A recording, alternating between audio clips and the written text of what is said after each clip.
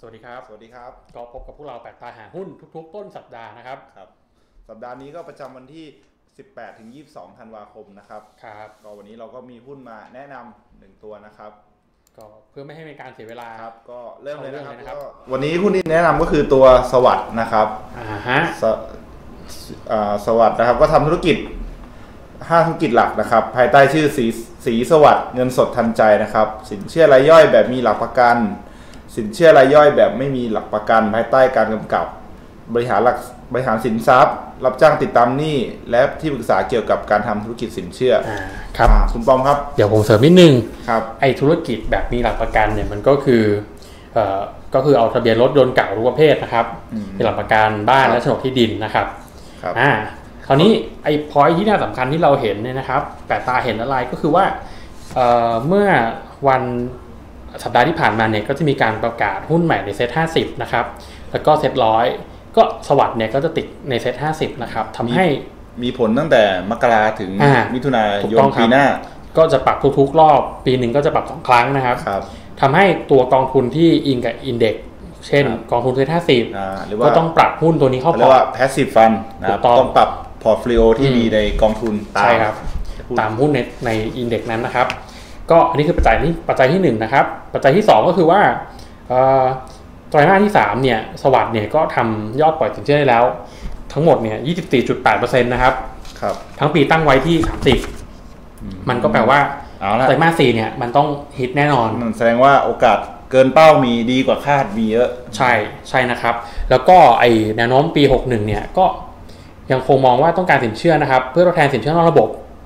ก็คือเดิมเนี่ย คนที่มีรายได้น้อยเนี่ย เวลาเขาจะกู้ก็ไม่มีเงินจะกู้ใช่ไหมครับครับเขาก็อาจจะไปพึ่งพิงสินเชื่อนอกระบบ เพราะฉะนั้นเนี่ยตัวสวัสด์เองเนี่ยก็สามารถที่จะเข้ามาทดแทนในส่วนนี้ได้นะครับอืมครับคือ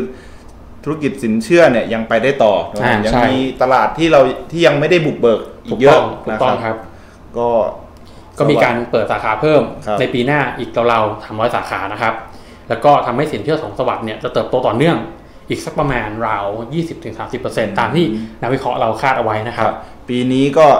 30 ก็ได้ตามเป้า ปีหน้าก็เอาอีก 20ถึง30 ก็ครับโตไม่น้อยกว่าปีนี้ แต่ว่าตัวสาขามันเพิ่มขึ้น มันก็แปลว่าการโตจากฐานของปีนี้เนี่ยก็เป็นการเติบโตที่ดูอ่าจำนวนก็จะเยอะกว่าอีก ใช่ ถูกต้องนะครับมครับก็คิดว่าสวัสด์เป็นหุ้นที่อะพื้นฐานรองรับแล้ว ถูกต้องแล้วปีแล้วก็นี้ปีหน้าก็ยังดีนะครับอ่าแล้วก็ราคาพื้นฐานเนี่ยอยู่ที่ 71 บาท ก็แปลว่า ก็ยังเหลืออัพไซด์นะครับครับราคาปัจจุบันปิดวันศุกร์ที่ 64.75 นะครับอือฮึก็เป็นหุ้นที่น่าสนใจสำหรับวีคนี้นะครับ แล้วกลยุทธ์แปดตาว่ายังไงครับอ่ามาดูภาพเทคนิคก่อนนะครับ ภาพเทคนิคของ8ตานะครับ ก็จะเห็นได้ว่าชาร์ตเนี่ยกลับตัวนะครับ จากแนวโน้มขาลง ก็มีการปรับตัวลงนะครับ แล้วก็ราคาเนี่ยปรับตัวขึ้นนะครับทำ higher high นะครับ higher low นะครับครับเพราะฉะนั้นเนี่ยเราก็แนะนำจุดเข้าซื้อที่ แนวแนวที่เบรกออกมานะครับแถวแถวๆ64 นะครับ ก็เรามาแนะนำเข้าซื้อ 64.5 ตั้งย่อมาสักช่องหนึ่งแล้วกันเนาะครับแล้วก็ไปหาจุดขายสักประมาณ 68 นะครับ ก็จะเป็นแนวต้านด้านบนนะครับ ก็มันถ้าตามแผนก็ได้กำไรมาสัก 5 5กว่ากว่าเปอร์เซ็นต์นะครับครับแล้วก็ถ้าผิดแผนเนี่ย เราก็มองจุดคัดลอสแถวๆสักเอ่อ63.75ก็แปลว่าหลุดต่ำเส้นค่าเฉลี่ยนี้ลงมา ก็ถ้าคัดลอสก็โดนแค่ 1.2%เท่านั้นเองอืมนะคก็รับคิดว่าน่าสนใจนะโอกาสได้ได้ห้านะครับอ่าก็รอย่อเข้าซื้อนิดนึงนะครับครับ64.5 แล้วก็ไปขายแถวแนวต้านนะครับ ถ้าลุ้นเบรกไฮก็ถือว่าเป็นโบนัสไป ถูกต้องแล้วนะครับครับอ่าแล้วก็มาอัปเดตนิดนึง อัปเดตครับ อันนี้คือหุ้นทั้งหมดนะครับที่เราเคยแนะนำมานะครับใช่ครับอ่าสีเหลืองด้านล่างเนี่ยก็คือหุ้นที่ยังอยู่ในพอร์ตปัจจุบันนะครับครับสุภาลัยเนี่ยตอนนี้ขาดทุนอยู่เอ่อลบ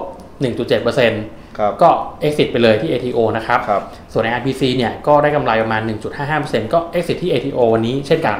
ก็ส่วนสวัสด์วันนี้เนี่ยสรุปเลยนะครับ ตั้งซื้อที่ 64.5อ่า take profit ที่ 68 นะครับ แล้วก็จุดคัดลอสคือ 63.75 ครับ ก็คิดว่าปลายปีละตลาดก็เงาเงาๆอืมบางตัวที่เราแนะนำไปแล้วก็ เราก็เปลี่ยนบ้างเอาหน้าใหม่เข้ามาใช่นะครับครับคือก็จังหวะพยายามจังหวะที่ตลาดมันดูไม่